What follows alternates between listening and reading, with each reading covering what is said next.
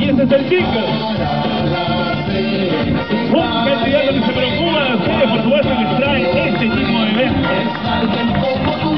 Ahí lo recibimos con el fuerte aplauso con Roberto. Carlos